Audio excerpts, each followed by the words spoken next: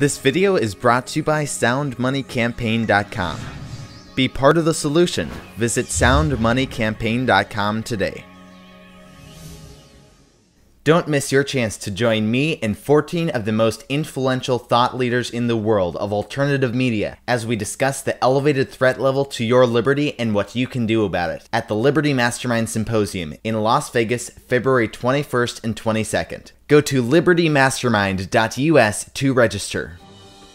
Hey everyone, this is Elijah Johnson with FinanceAndLiberty.com, and back with us today is John from BrotherJohnF.com, the Silver for the People blog and also thebitcoinchannel.com. John, thank you so much for joining us today. It's great to be back on, Elijah. All right, so Bitcoin recently surpassed $1,000. Why do you think Bitcoin is going up so quickly, so fast?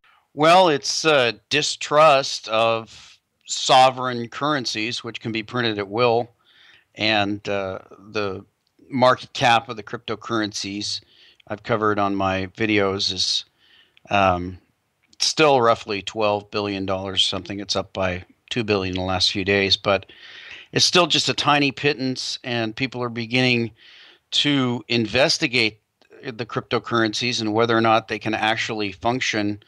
More and more people are hearing about it, and uh, more money's flowing into it. It has a lot to do with the uh, testimony at the Senate hearing, where if you read between the lines, uh, you could see that they pretty much don't have any regulatory power over Bitcoin itself. They have regulatory power over dollar transactions, but uh, the Bitcoin's traded in terms of all currencies and uh, other cryptocurrencies. So uh, that I think uh, added a big boost, and uh, then the breakout above the old high around 266 really added a lot of impetus as well. I know just a couple years ago, Bitcoin was trading for just a couple cents. This just seems like the tulip mania all over again to me. It just seems like a huge, huge bubble. But on one of your recent videos on your Bitcoin channel, you stated that this, in your opinion, is not a bubble. Am I right about that? Right. Well, I mean, it, how do you define a bubble? There's a lot of elements to what constitutes a bubble. I think one of the key elements is going to be people who are investing in something because they think they're going to sell it to someone else at a higher price. In other words, they don't really have any belief in the value of it. If you think about the tulip mania that occurred in Holland, uh, that type of value for tulip bulbs is ridiculous.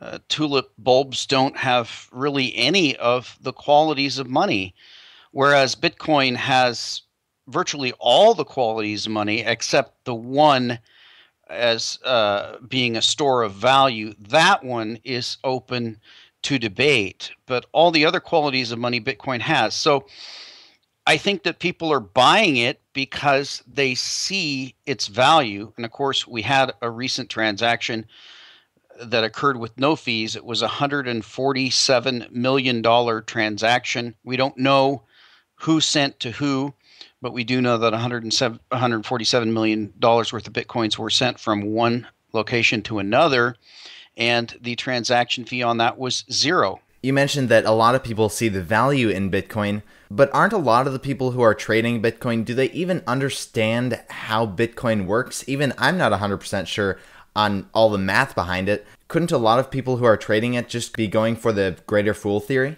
There could be a large number of people who are involved in it because uh, they see it going up in price and, and don't really understand it. But I think that as I've covered for a number of years actually on uh, my Bitcoin channel YouTube channel and uh, my blog, thebitcoinchannel.com, covered the fact that this is a unique idea. It's actually not a thing as much as it is an idea. And the idea is that cryptography creates the ability to have a virtual currency. And that virtual currency, uh, that, that possibility has always been around. There have been a, a number of attempts at it, but the Bitcoin is the first decentralized cryptocurrency. And what that means is that there is no issuing entity, there's no backing of it. it has a limited number, and there'll never be more. And uh, it's an independent, self sustaining system that uh, so far hasn't been broken. I've said for the longest time, uh, a lot of the critics have said, well, it's going to collapse, and it may well collapse. But uh, so far, it hasn't. The vote of confidence in it has been the price, and that's still skyrocketing. Can you explain a little bit more on how Bitcoins actually work and how they're made? The way that it works is that there are miners, and what they're doing is they're doing complex mathematical calculations to try to solve a mathematical problem. When the mathematical problem is solved, then they're awarded with a certain number of bitcoins. There can only be 21 million bitcoins ever in existence. We're a little past half that now. And uh, so that's how bitcoins are quote unquote discovered. Uh, everyone who's running a miner and mining pools are competing against each other to solve these mathematical problems. Uh, you have to understand that encryption creates the ability to have an unsolvable problem as far as uh, guessing at it unless you do enough uh, hard uh, attempts at uh, guessing the answer. That's the way it works, and uh, that's the basis behind cryptography. So the system is closed in the sense that uh, it can't be broken into. Um, it has a limited number.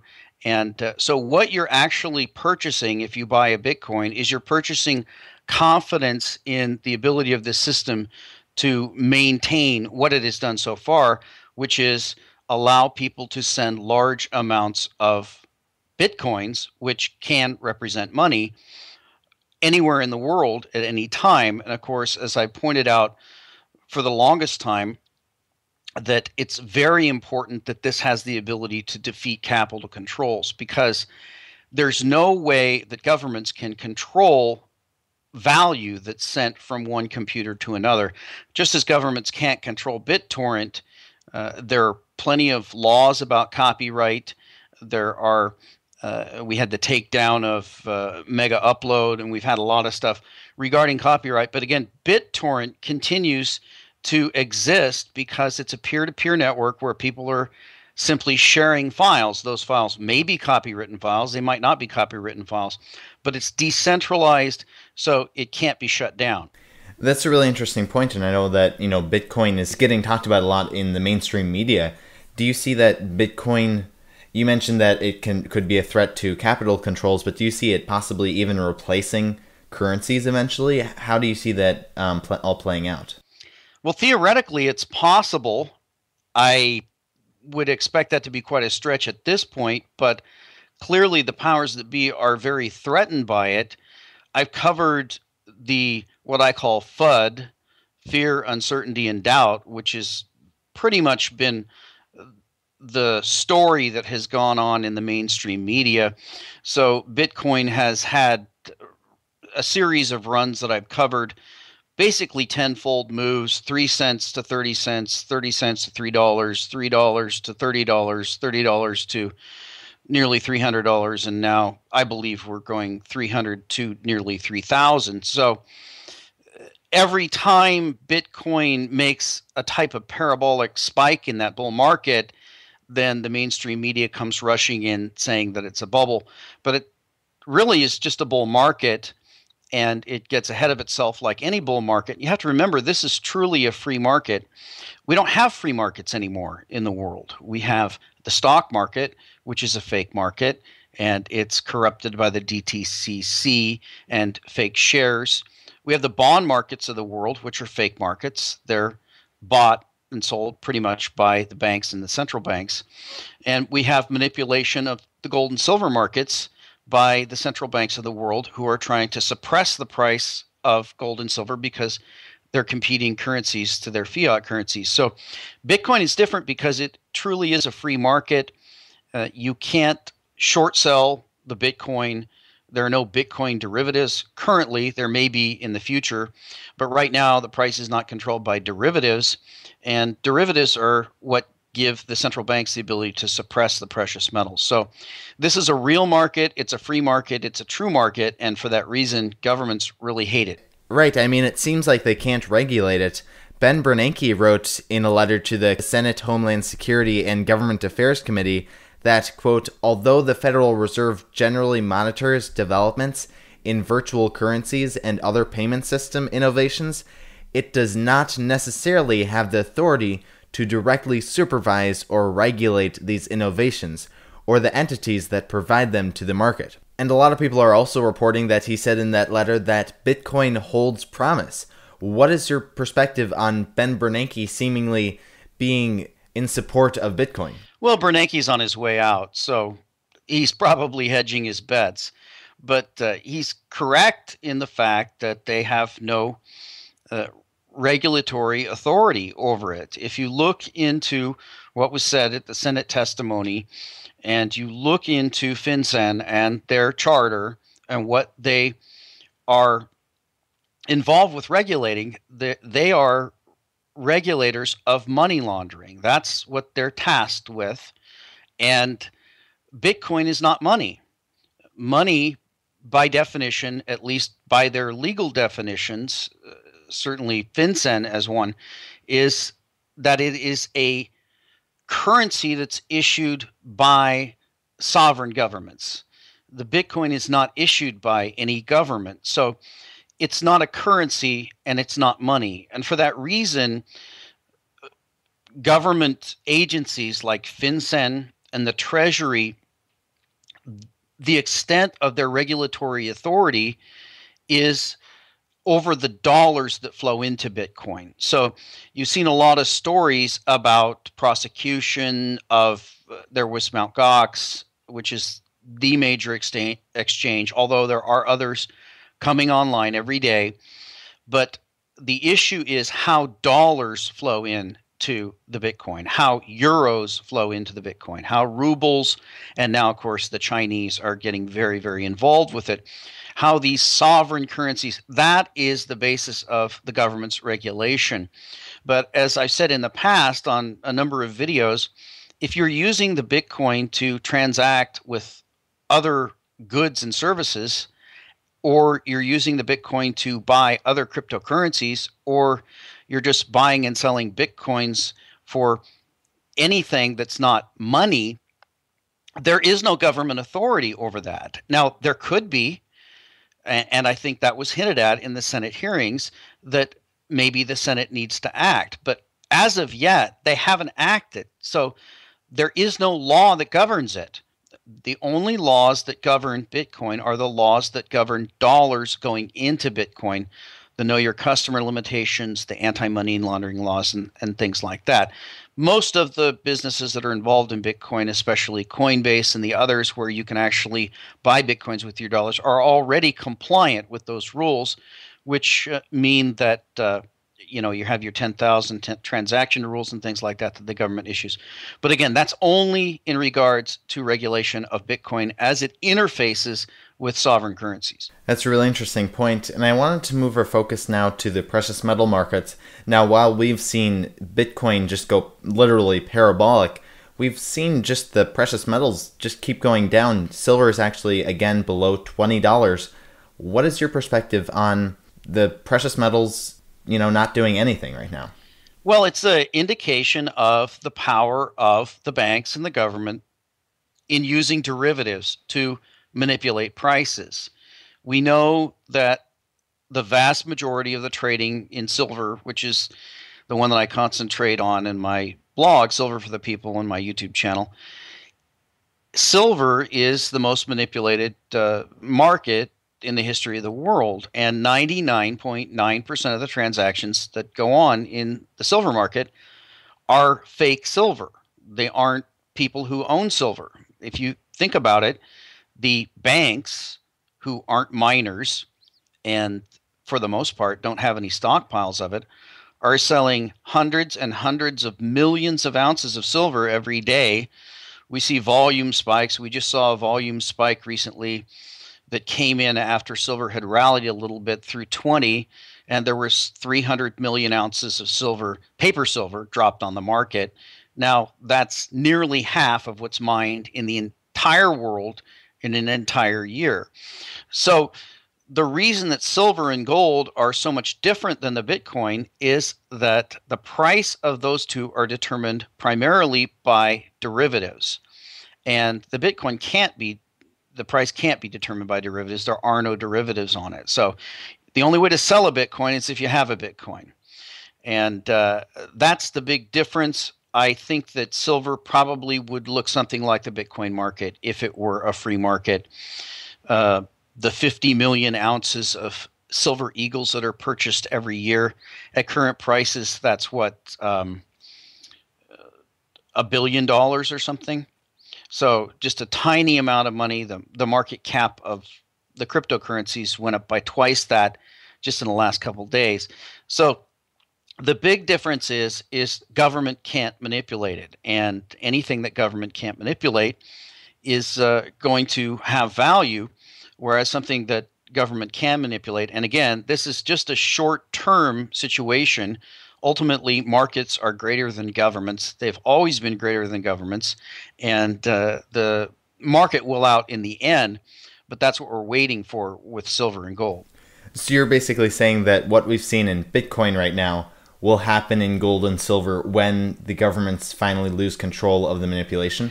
Correct. I mean, you can look at the Bitcoin as uh, people talk about how much the price has risen, but really, I like to look at it in terms of dollars.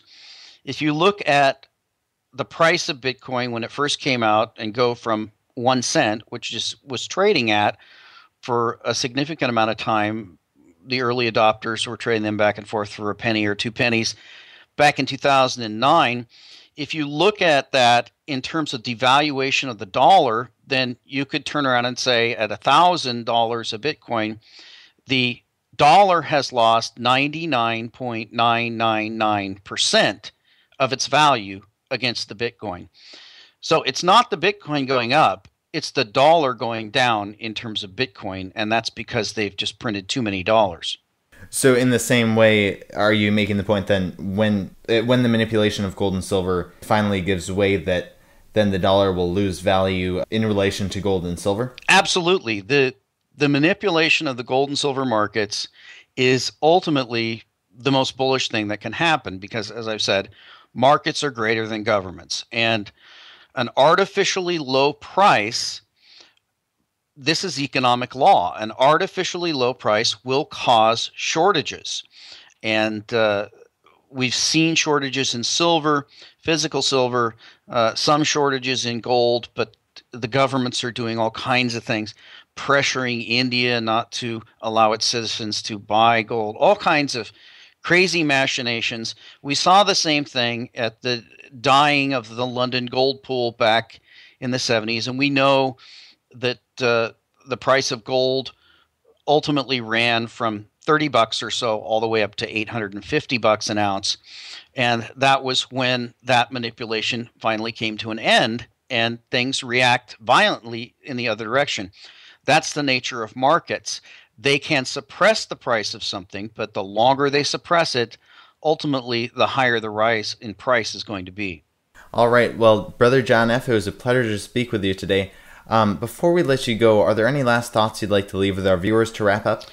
Absolutely. You need to keep your eye on the government. We're going to have a crisis again coming up at the beginning of the year. And uh, all the governments in the world are together in trying to suppress real money.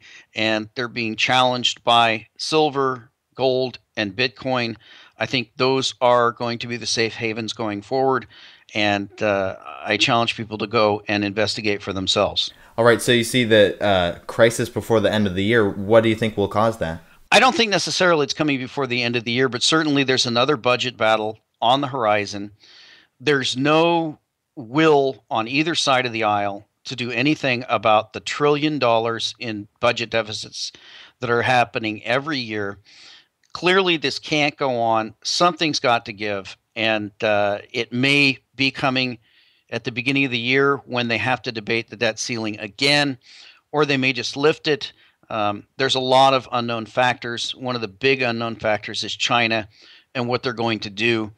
So At some point, there's going to be a crisis, and at that point, I think we're going to see silver and gold turn around and start to rally. Right. I mean, the situation with the U.S. deficit and debt is just ridiculous, and Congress is making it seem a lot better actually than it is currently. You know, I heard that if you use generally accepted accounting principles, which you know, U.S. businesses are legally required to report, the U.S. deficit, according to generally accepted accounting principles, would be about five times what it is reported officially.